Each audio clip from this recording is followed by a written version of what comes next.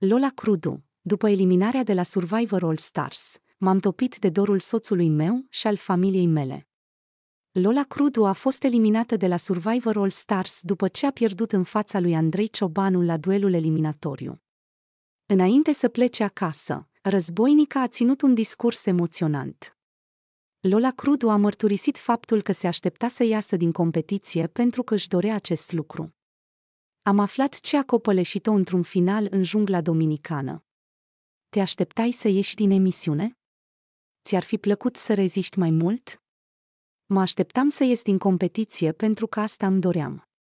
Lucrurile se întâmplă, atunci când trebuie să se întâmple și. Pentru mine, în acel moment s-a terminat drumul Survivor. Am plecat cu capul sus și fără niciun regret. Ce ai făcut prima dată când ai ieșit din show?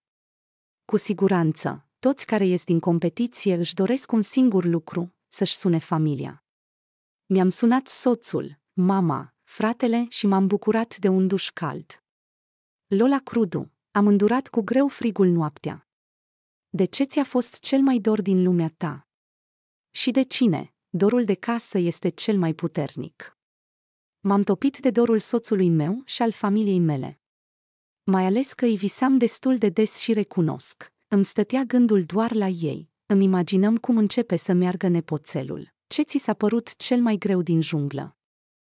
A doua oară, experiența Survivor nu mai este la fel de dură. Am mai trecut prin asta și eram pregătiți pentru ce urmează și ce ne așteaptă în junglă. Am îndurat cu greu frigul noaptea, dar ce nu ne omoară, ne face mai puternici. Cu cine vei păstra legătura la final de proiect? Mi-ar plăcea să țin legătura cu toată lumea sau, cel puțin, mi-ar plăcea să ne mai vedem cu toții. Cu cine te-ai înțeles cel mai bine acolo și ce crezi sau cine îți va lipsi cel mai mult? M-am înțeles bine cu fetele. Dul și Ștefania mi-au devenit foarte apropiate. Le voi duce lipsa. Ce planuri ai acum că revi la realitate? Pentru început, îmi doresc să petrec timp cu familia. Să stau cu soțul meu. După, ușor ușor, să revin la birou, să-mi încep munca, cu sala și să mă axez pe creșterea mea profesională. Ce-ți dorești pentru restul anului? Cum am menționat mai sus, să cresc din punct de vedere profesional. Clar îmi doresc să mai fac și ceva cursuri și să mă dezvolt cât mai mult în domeniul în care am ales, de curând, să mă implic. Cât de mult te-a schimbat această experiență și ce ai învățat de aici? Survivor este, în primul rând, o lecție bună de viață. Dacă ai nevoie să înveți o virtute, Survivor este locul potrivit. În primul sezon, am descoperit că sunt puternică fizic, al Stars a venit cu altă lecție. Am avut o dezvoltare spirituală, dacă o pot numi așa.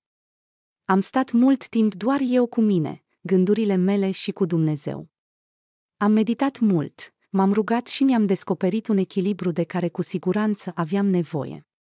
Fiind o fire vulcanică, aici am învățat să fiu calmă și să păstrez tăcerea și liniștea.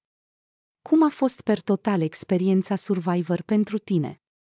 Ce ai schimba și ce ai face la fel? Nu aș schimba nimic din parcursul meu la Survivor.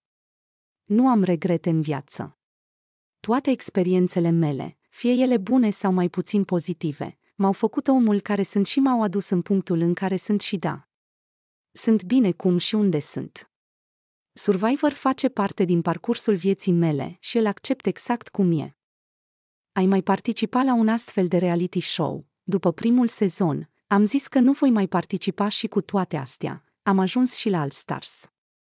Nu știu în acest moment să dau un răspuns, dar pentru moment pot să zic că îmi doresc să mă axez pe mine și familia mea.